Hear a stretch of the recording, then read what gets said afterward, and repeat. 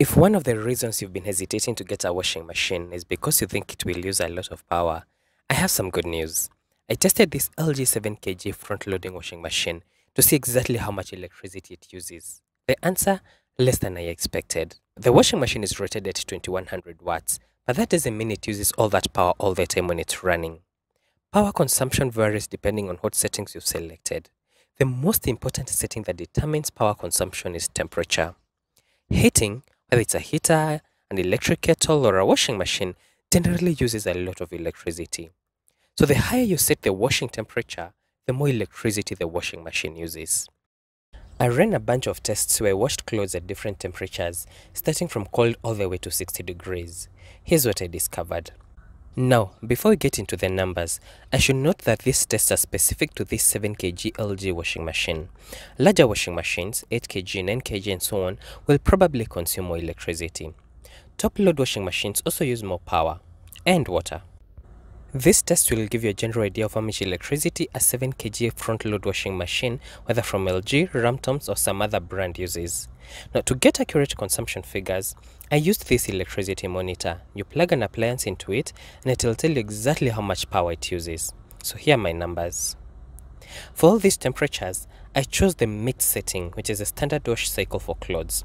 I sometimes selected the pre-wash setting, but I found it did not make much of a difference to the amount of power consumed.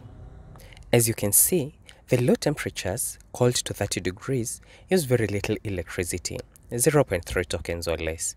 It would take between 4 and 10 washes to use just one unit. If you wash clothes twice a day every day, Monday to Saturday, with a cold 20 degrees or 30 degrees setting, you'll use max 3.6 tokens, and that's on the higher side. That comes to around 14.4 tokens per month. Let's round that up to 15 units per month. Even with the new higher KPLC tariffs, that comes to less than 400 shillings a month. In contrast, if you wash clothes at 40 degrees and use an average of 0.6 units per wash, your washing machine will use 28.8 tokens per month, assuming you wash clothes twice a day, Monday to Saturday. That could increase your monthly electricity consumption to over 700 shillings. That said, even at 40 or 60 degrees, it's certainly cheaper to use a washing machine compared to getting a mamafua. Remember that a washing machine also uses way less water compared to hand washing so you save on electricity, water and labor costs.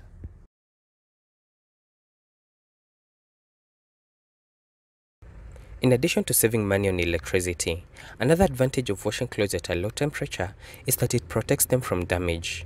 Hot water causes fading and tearing. 30 or 40 degrees is the right temperature for washing most clothes and is what is recommended on most care labels. Use cold or 20 degrees for delicates 30 degrees for most of your clothes, including baby clothes, and 40 degrees for heavier items like denim, khaki, and heavy cottons. 40 degrees is also great for stained and very dirty clothes. Use 50 or 60 degrees to wash bedding and towels.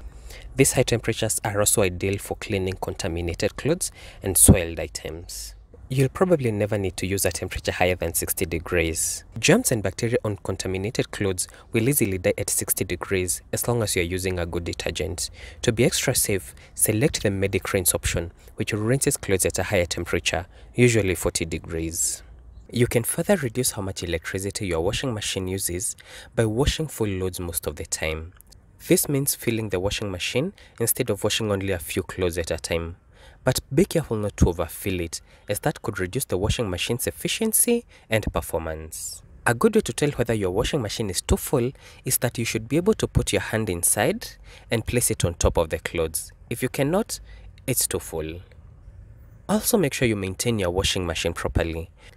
You should run a cleaning cycle and wash the washing machine filter at least once a month.